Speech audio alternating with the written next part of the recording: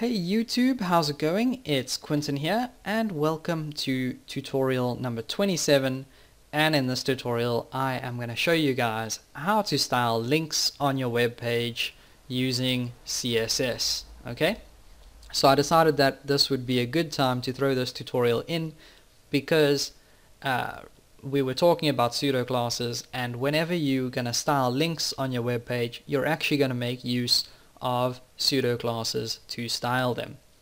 Uh, so let's go ahead and actually just throw a link in on our page. So I'm going to go ahead and just add my two A tags and I'm going to make a link to my YouTube channel. So we'll just type in my channel over here and for the href obviously I have to put the URL of my YouTube channel which is http colon slash slash www dot youtube dot com slash Quentin Watt and I'd really like to change it to slash ProgrammersCreed but I cannot because I already set it to this uh, URL before which is a shame.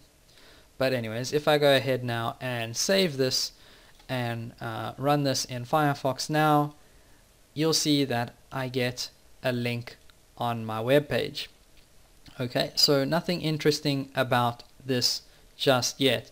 But like I said, whenever we style links on our web page, we make use of four different classes. So let me go ahead and show you what those uh, classes are.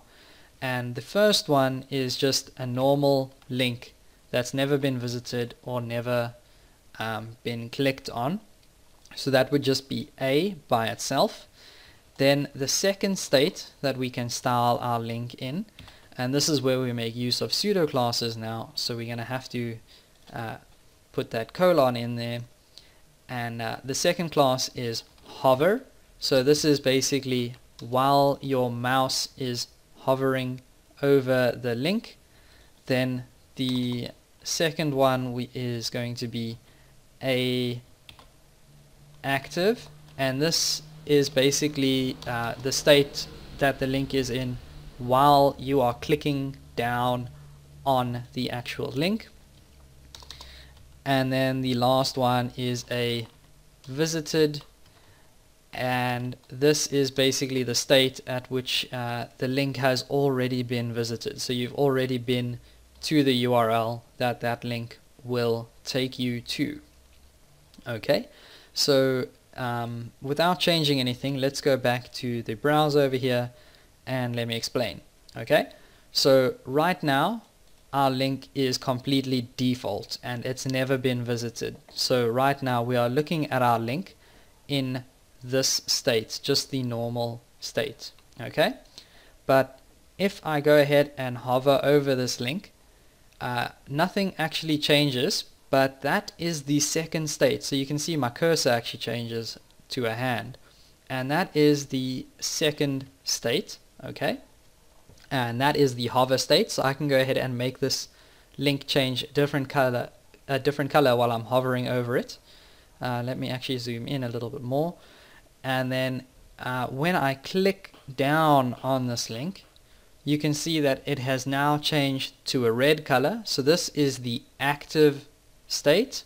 So while I'm holding down, this link is active and as soon as I let go, um, I start going through to my YouTube channel and uh, when I go back here, you can see that the link has now turned purple and that means that I have visited this link. So that is the last state, the visited state. Okay, so let's go ahead and just clear my history out here. Okay, so I'm just going to go ahead and clear that out. And uh, this should make it so that my link uh, has never been visited again. Okay, so now let's go and actually style these different states. So uh, by default, you can see that the link is actually blue and is underlined. So let's go ahead and actually change this up a little bit. Uh, we'll change the color to um, green.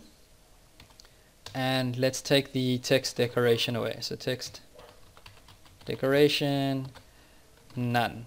So that means that it must not be underlined. Uh, now let's go ahead and style the hover state. So we can change this color to uh, red. And we'll uh, put the underline back in. So text decoration underline. And uh, now we can style the active state. So this is basically while we are clicking down on the link and we'll change that color to um, I don't know orange. And text uh, decoration um, still underline. Actually we don't even need to include this because it will inherit the underline from the hover state. Okay?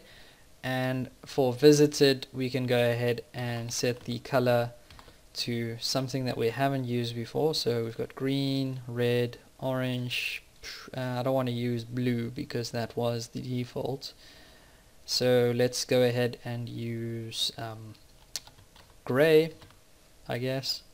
Or let's go ahead and use pink. I don't know if pink is actually actually a color but we'll try. And text decoration none. So basically we don't want it underlined anymore once it's been visited. Okay so let's go back here and click refresh. And as you can see we now have a link that is going to change um, every time the state actually changes. So remember before by default it was blue and underlined. Um, if the link had not been visited. Now it's actually green. And if I go ahead and hover my mouse over it it's changed to a red color and it actually has the underline uh, styling in there. And now when I go ahead and hold down on the link. So this is the active state. It has changed to an orange color and it's still underlined because it inherited the underline from um, the visited or the hover state.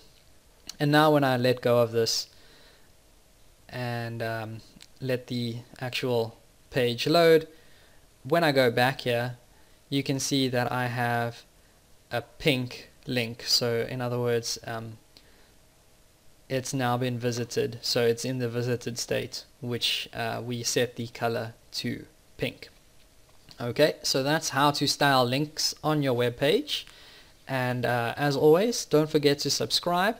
Please feel free to leave a comment, like or share the video. It's really going to help my channel grow. And I will see you guys next time.